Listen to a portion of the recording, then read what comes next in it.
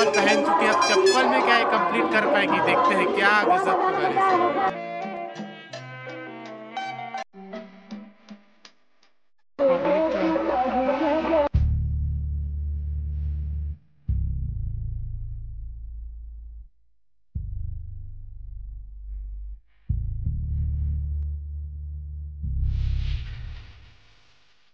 गाने से क्या